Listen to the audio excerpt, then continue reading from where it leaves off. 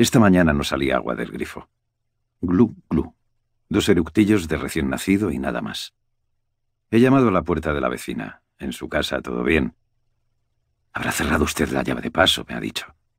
¿Yo? Ni siquiera sé dónde está. Hace poco que vivo aquí, ya sabe usted, y vuelvo a casa, que ya es de noche. Dios mío. ¿Y cuando se va una semana fuera no cierra ni el agua ni el gas? Yo no. Menuda imprudencia. Déjeme entrar, que ya le enseño yo. Ha abierto el armarito que está debajo del fregadero. Ha movido algo y el agua ha llegado. ¿Lo ve? La había cerrado. Perdóneme, soy tan distraído. Es que ustedes, los singles...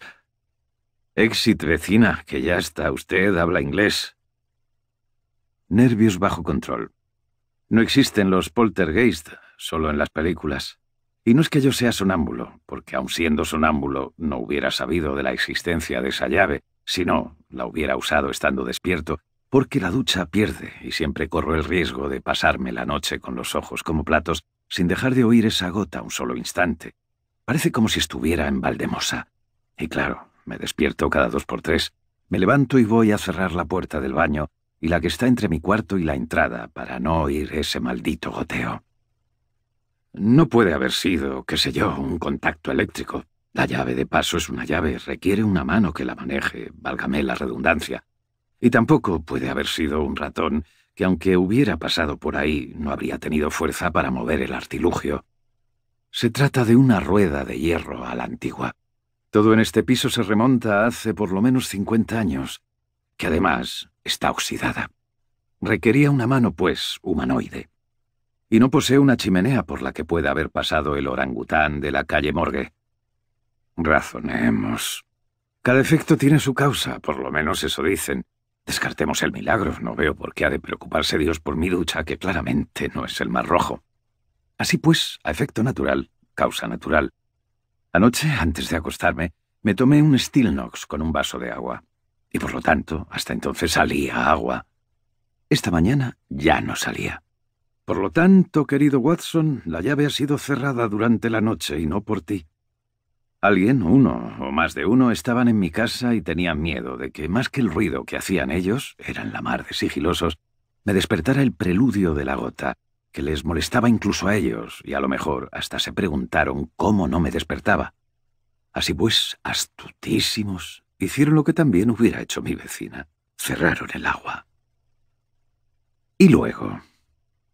Los libros están dispuestos en su desorden normal, Podrían haber pasado los servicios secretos de medio mundo y haberlos ojeado página a página y no me daría cuenta. Es inútil que mire en los cajones o que abra el armario del recibidor. Si querían descubrir algo, hoy en día no tienen más remedio que fiscar en el ordenador.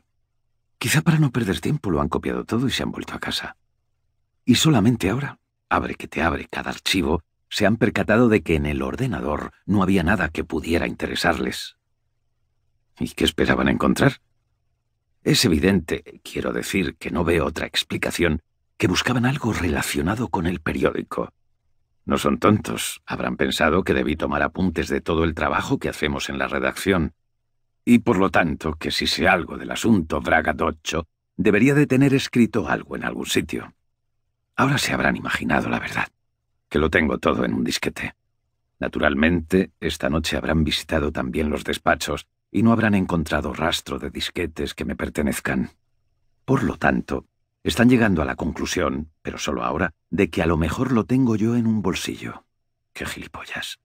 Si es que somos una pandilla de gilipollas, estarán diciéndose. Teníamos que haber registrado la chaqueta. ¿Gilipollas? Mamones. Si llegan a ser listos, no habrían acabado haciendo un trabajo tan sucio.